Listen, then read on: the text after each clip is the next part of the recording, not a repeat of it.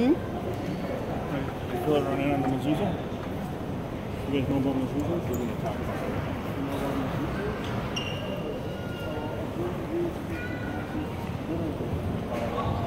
Uh, It uh, write these words on your gates of your house and on your doors. So they take that scripture, write it on a scroll, and they put it in a little box that they stick on the door frame of their house. Here in the airport, they have a, a giant one. That's this giant thing on the wall here. And you'll see, you'll see the observant Jews, whenever they pass one of these, they'll stop, they'll touch it, and then they'll kiss their hands.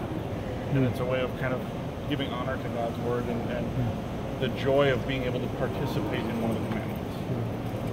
Now that could be a little box they'll wear on their forehead too, is that? No, That's that's, the one where it talks about you should bind it as a frontlet band between your eyes.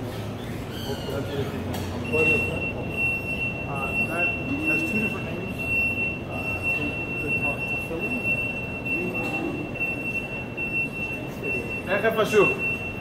And here's the mezuzah that Craig was talking about. And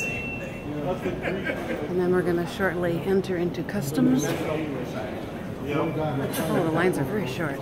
Wonderful.